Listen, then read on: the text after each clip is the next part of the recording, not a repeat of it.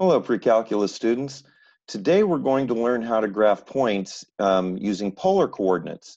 In the past, when you've graphed points, um, coordinates, locations, you always used rectangular coordinates, x and y. You went so many places to the left or right of the origin, and then you went so from that point, you went so many places up or down from the x-axis. So those are called rectangular coordinates and they're used to give locations relative to the origin. Let me, uh, excuse me, let me um, share my screen with you here, and we're going to look at some graph paper, a new type of graph paper. This is called polar graph paper. You'll notice that uh, there is an origin here, but in polar graphing, it's often called the pole and it might be called that if you imagine looking down on the Earth from the North Pole, and these would be your lines of longitude. So this is you know 90 degrees north is the North Pole, 80 degrees north, 70 degrees north, 60 degrees, and out here would be the equator somewhere. So that's kind of a background of where the name comes from.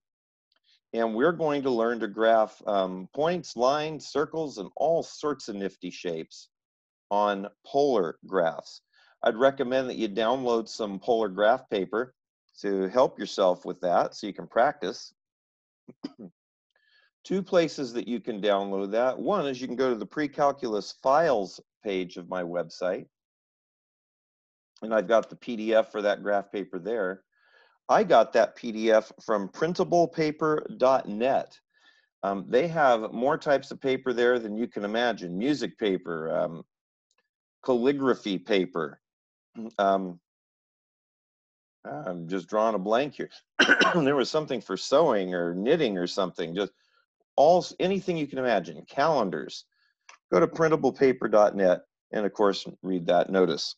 you want to make sure you download the PDF, not just the uh, thumbnail view that lets you look at what the PDF contains. So having done that, let's get started on some polar coordinates. So I need to establish um, a baseline, and that baseline is this pole right here. And we can think of this as still as a kind of a positive x-axis.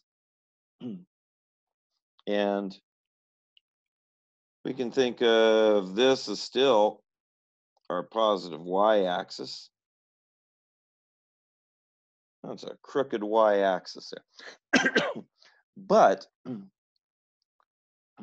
what we're doing now is we're going to plot points relative to here. So if we were to plot the point 3, 4 on the xy plane, we'd go over 3, so we'd go one, two, three, and then we'd have to go up 4. We'd have to you know, take that measurement and, you know, figure out what four is and go up from there. Um, why would you graph rectangular coordinates on a polar graph? It just doesn't make sense. So we need to come up with a new way of graphing. and we're going to use, instead of xy, we're going to use r and theta. Now, this shouldn't be new to you. We've already, at least in our current lessons, students I'm teaching as I make this video, we've already covered complex numbers in polar form. That was r cis theta. And the i and the cis gave us the indication that that was a complex number. Now we're going to graph um, coordinates, so just locations. So instead of x, y, we're now going to have r and theta.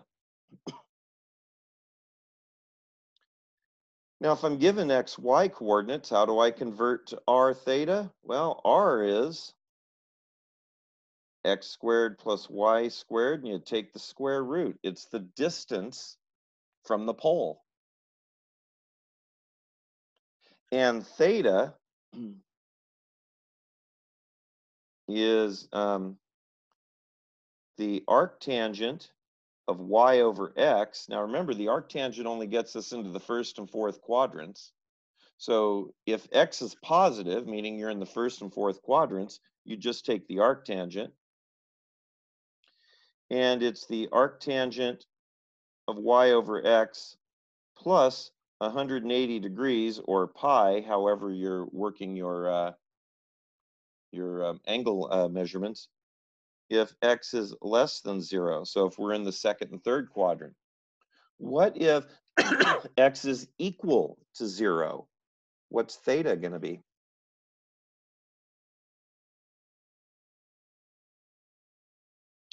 Well, if x is equal to zero, we're on the y-axis. So theta is either equal um, 90 degrees, pi over 2, or 270 degrees, um, 3 pi over 2, or negative pi over 2, however you're working this. So that's how we convert um, from rectangular to polar coordinates. If we want to go from polar coordinates to rectangular coordinates,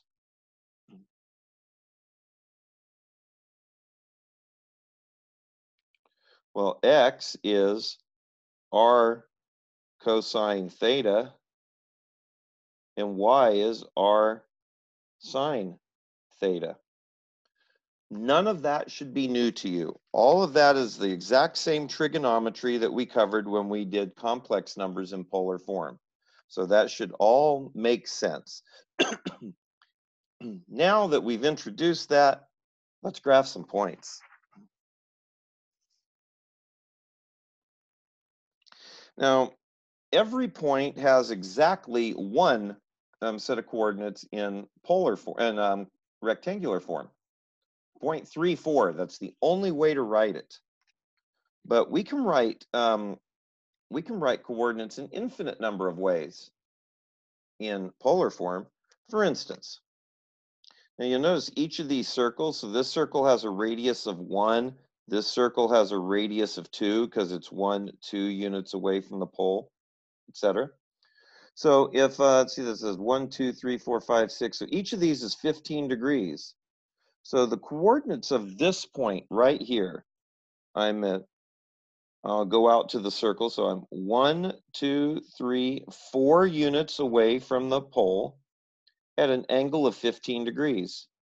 So I could write that as 4 comma 15 degrees, not cis, because this is not a complex number. This is just a coordinate. It's giving us a location relative to the pole here. I can write that a number of other ways. And let's just stick with degrees now. Let's not even worry about radians on this problem. I think everyone would agree that if I added 365, uh, 360 degrees to that, I'd be right back to this point. So I could also write that point as 4 comma 375 degrees. So now all of a sudden you can see there are an infinite number of ways of writing this because all I have to keep doing is adding 360 degrees to this and I keep getting um, coterminal angles so my point's in the same location. What if I went this way? Well, now it's 4 comma um, negative 345 degrees.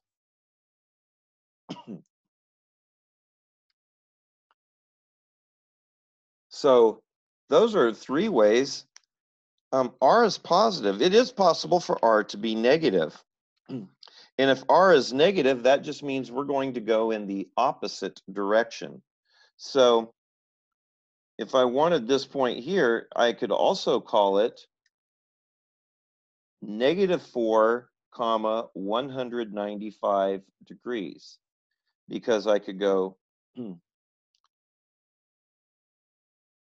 Um, well, I could go negative four, which is one, two, three, four, and then a hundred um, positive 195 degrees. 195 degrees would be counterclockwise. So here's 180 and here's the other 15. But usually the way we think about it is we would do the 195 degrees first. So I go out here to, here's 180. So here's 190. So 195.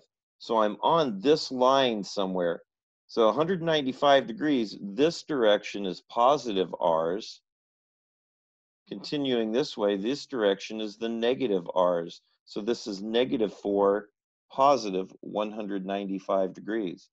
Because I'm at a positive 195 degrees, I'm in this direction. Oh, but it says go the opposite direction, negative 4. So I have to go that way. Now you try, I want both r and theta to be negative. Give that a try.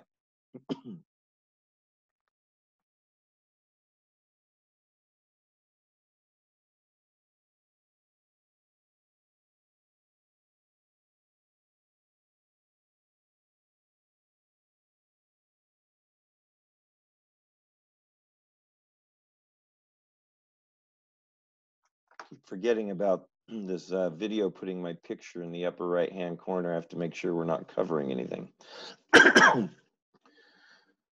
Alrighty, so this point, um, obviously it's four units away. We want it to be negative. It's got to be a negative four. So what I need is how do I write this angle down here as a negative angle? Well, that would be negative 165 degrees.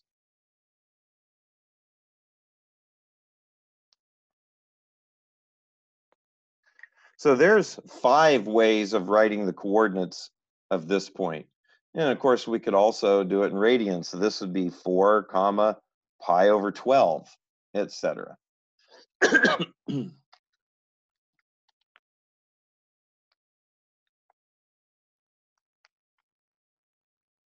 Alrighty, so um, assuming that you have some graph paper and you're ready to go, let's try um, graphing a few points. Where is the point 6 comma 90 degrees?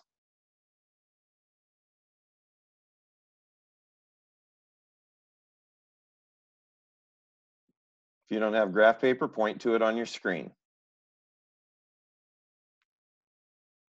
So here's the 90 degree. I know we always put R first and then theta, but when I graph, I usually graph.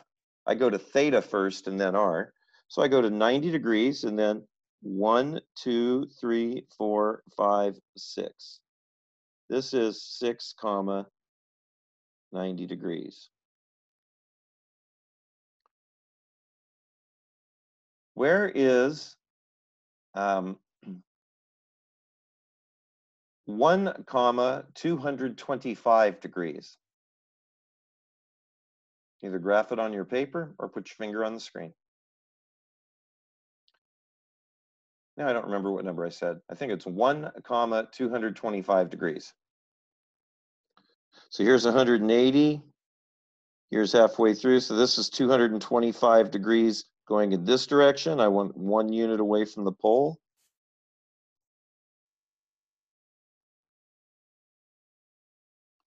Right? Now graph this point or use this same point, write it with a negative r and a positive theta.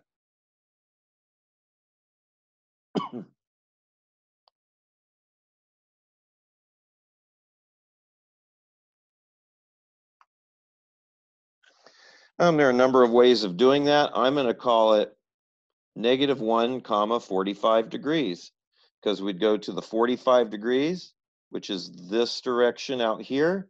Then we go in the opposite direction one unit. Now write it with a positive r and a negative theta.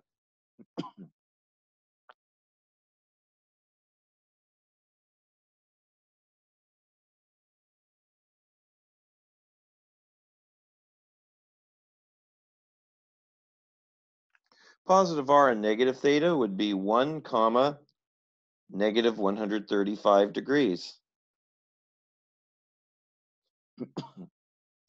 And lastly, do a negative r and a negative theta.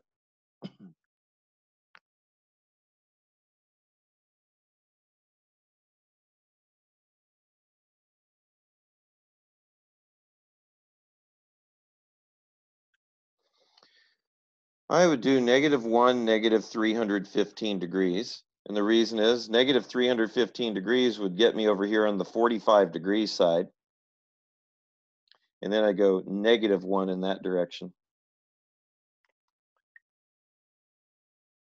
Now, interestingly enough, um, finding the distance between points in polar graphing is very easy. In fact, you may not think so, but you already know how to do it. So let's take a look at some points here.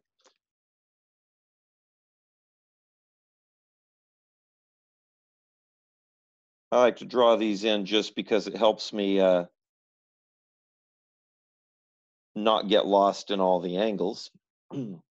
so here's the point um, 1, 2, 3 comma 15 degrees. And here's the point, um, uh, here's 75 degrees, 1, 2, 3, 4, 5, 6.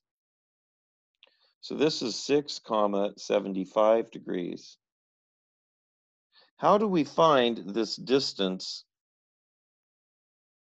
between them? Got any ideas?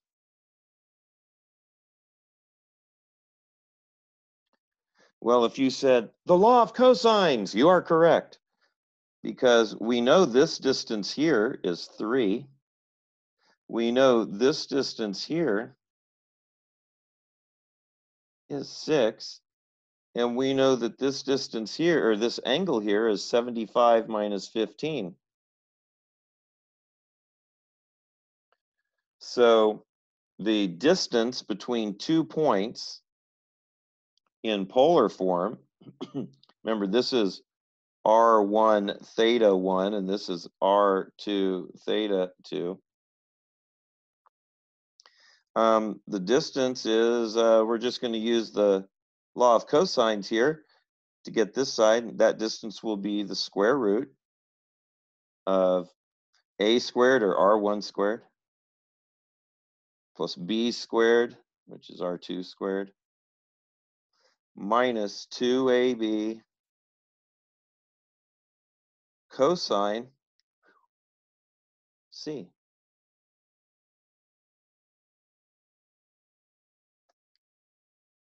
Very easy.